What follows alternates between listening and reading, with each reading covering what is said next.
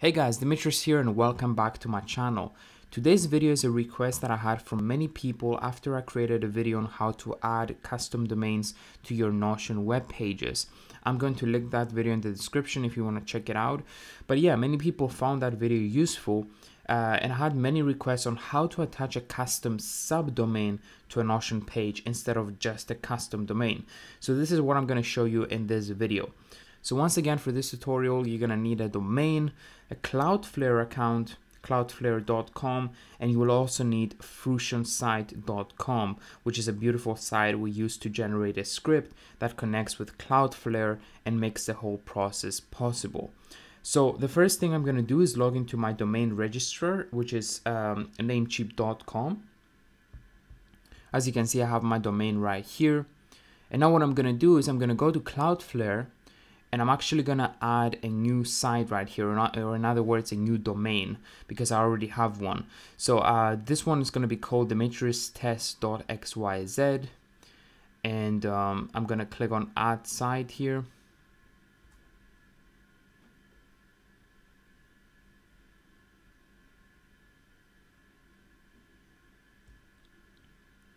And now what I'm gonna do is select the free plan here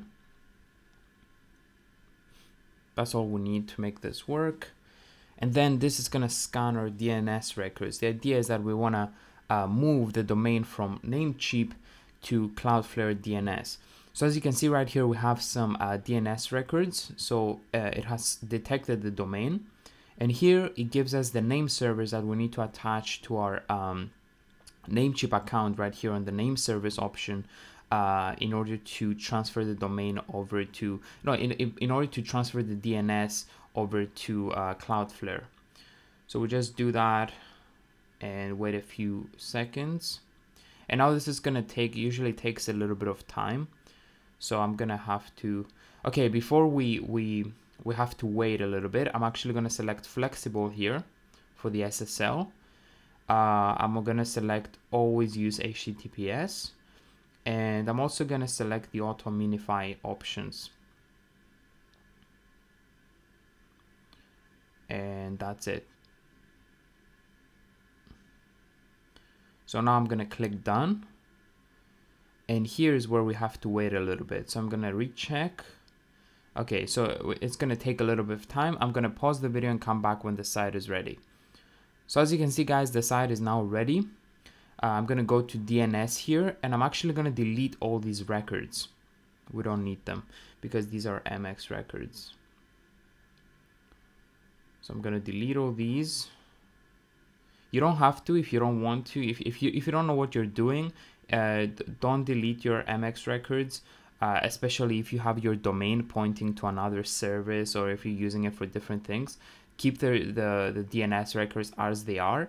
Uh, but then you want to add an A record. So this is a record of A type. Um, and then the name is going to be the name you want uh, your subdomain to have, right? So uh, in this case, I'm going to have test.dimitristest.xyz. So the name is going to be test, right? That's the name of the subdomain and then the um, the IPv4 address is going to be 1.1.1.1, right? And the proxy status is going to be proxied. This is what you need to, to add. This is a record you want to add in order to configure a subdomain uh, to point to the to your Notion web page. So now what I'm going to do is I'm going to go to the workers page right here. And the worker is basically what uh, is going to run the Fruition script and it's going to allow us to um, to to point the user to the Notion web page when they visit our domain. That's what the worker does. That's what Cloudflare does. So um, I'm going to go to manage workers here to view all my workers. And I already have two workers because uh, one of them I actually used for um, the other tutorial I did in the past, which was um, this domain right here, dimitristutorials.xyz. Let's see if this works. Dimitris tutorials. Uh, this is the one I, I made like a restaurant site, I think, with this. Yeah, still live. Everything works perfectly. Uh, so that's where this worker is pointing to. And this is another one I did. I don't remember for what. It was just a test. But uh, what I want to do now is actually create a new worker. and this is where we're going to be pasting the new script we're going to generate um, uh, for for the new uh, uh, Notion web page we want to point our subdomain to. Um, so what I'm going to do here is I'm actually going to click on save and deploy just to generate this worker. This is not going to be the actual script. I'm just going to generate it.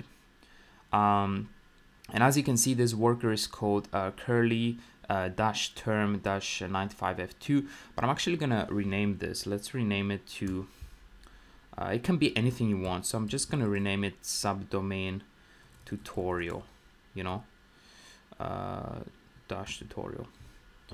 This can, this doesn't matter. It can be anything you want. It's just for your own reference. Um, so I'm, now I'm going to go back. I'm going to go back to workers. And as you can see, we now have a new worker right here. And now the, our goal is to basically point our subdomain to this worker. And then inside this worker, we're later on gonna add the Fruition script, which is gonna allow us to load the, the Notion page. Um, so now what I wanna do is actually go back to the Cloudflare main page right here. I'm gonna select my domain again, and I'm gonna go to workers. So this main page right here. And now the next thing I wanna do is add a route, right? So this is what's gonna um, allow Cloudflare to point whoever visits our subdomain to the worker we just created. So what we're going to do is create a route. And on this route, we're going to say, we're going to add the subdomain. So test.dimitris test.xyz. That's the subdomain we have. And then that's going to point to subdomain tutorial, which is the worker we just created. And we're going to click save.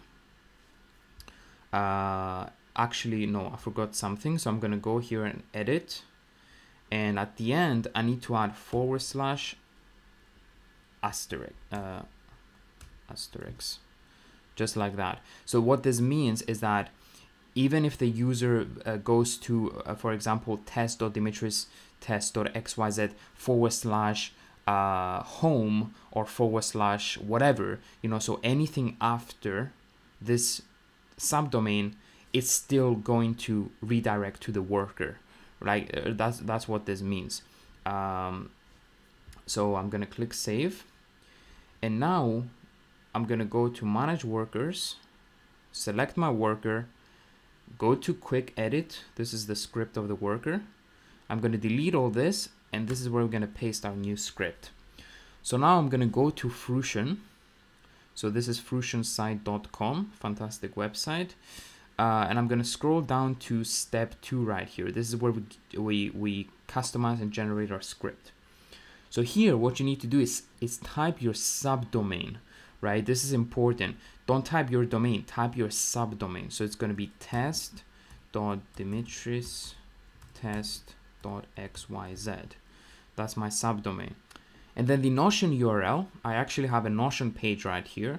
So I'm gonna go to share, I'm gonna make it public, share to web and I'm gonna copy the the link of the page so copy link and I'm gonna paste it right there. This is where I want my subdomain to redirect to right? Um, I'm not gonna add any pretty links. We don't need that. We're not building a full site or anything. Uh, and then I'm just gonna copy the code. Uh, so the, the the code is now copied. So I'm gonna go back to Cloudflare and I'm gonna paste my code right there just like that. So as you can see now, the domain is my subdomain right there.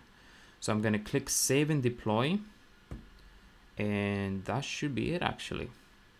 I'm gonna give it a few seconds so it everything gets propagated and then I'm gonna go to a new window here and go to test.dimitris test.xyz. Let's hope this works and it looks like it's working. Perfect. There we have it.